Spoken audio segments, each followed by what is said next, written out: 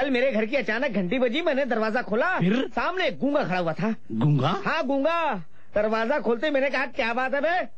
तो कहने लगा आ ऊ आऊ आऊ हैं? बुकू बुकू। हाँ।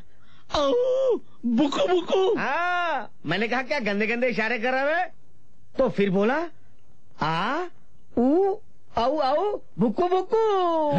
हाँ। फिर? बस मैं उसको मारने वाला था इतने में मेरी बीवी आ गई ना।